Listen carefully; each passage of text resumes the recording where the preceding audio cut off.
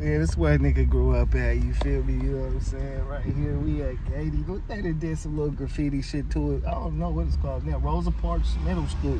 Used to be Goethe, but Goethe was racist and the evil man, so they changed it and shit. But yeah, when we went to school, it went down, bro. Like it was fights every day. You feel me? You niggas was claiming the dog pound and shit. You feel me?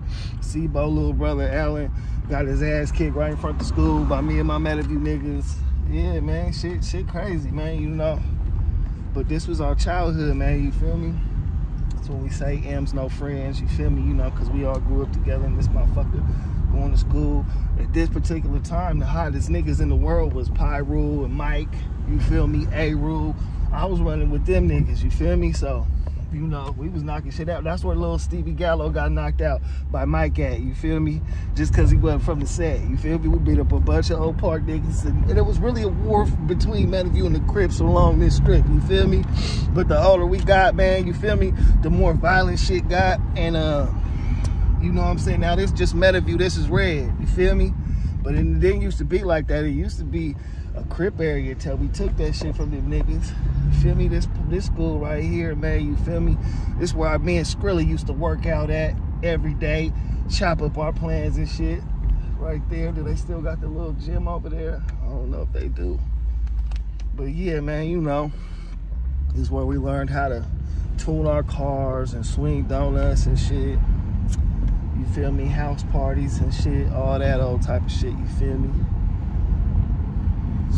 A real, real beautiful place to grow up, man. You know, real community. You know what I'm saying?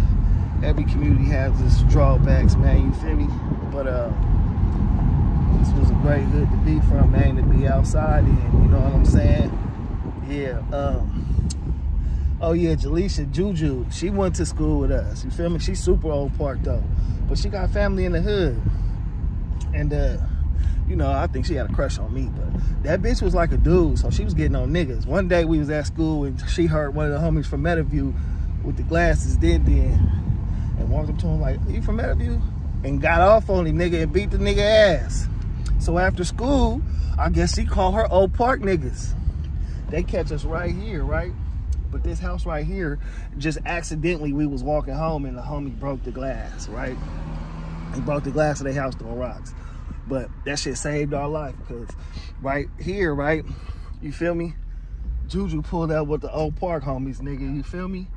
And tried to fire on the homie, tried to fire on Art, thinking it was, uh, it, it was, it was then the, the, the nigga she fought.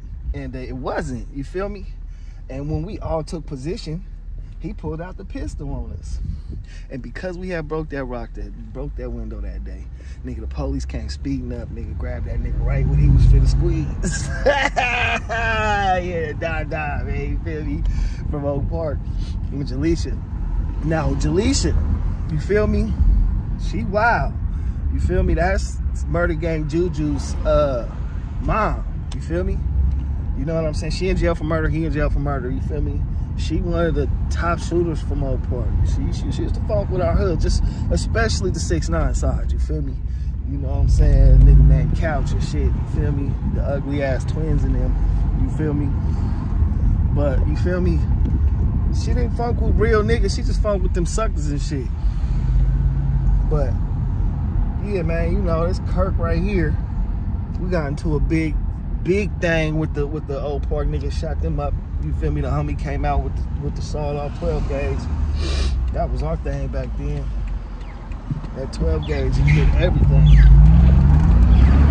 And that BMW, I'm let this bitch rip.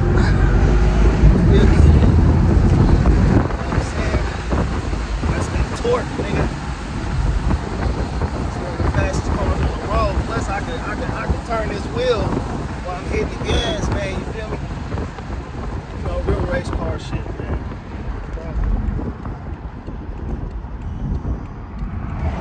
And you know, that's crazy because nowadays you these kids drive buses. They don't man, we've been riding clean shit since we was in like 13 going to high school. That's how you got all the girls and shit. Like, y'all don't wanna ride the bus, you better ride with a nigga, you feel me?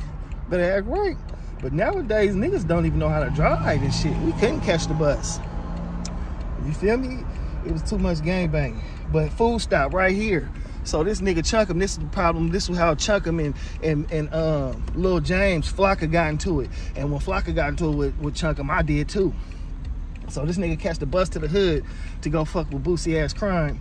And uh, some Oak Park niggas catch him and run him up in there. Cause you feel me? He ain't got no hang thing on him or nothing. And he nigga, he called that nigga. You feel me? And that nigga ain't got no hitters. I got the hitters. His nigga called me. And you know, James love me like a motherfucker. So I'm like, blood, this Oak Park niggas pressing the homie. James smash up there, get on him. Well, the problem is, Chuck him a weirdo. So, my nigga wasn't fucking with me. You see what I'm saying? So they got into it. And my nigga was like, man, you better come get this nigga before I do something to him. And I knew James was serious. So I had to come out the house and come get this nigga. You feel me? And then, you feel me? He was, I don't know what he did. He tried to cling on to James, didn't have nothing. And James was just like, nah, nigga, I ain't feeling that shit. You feel me? Period.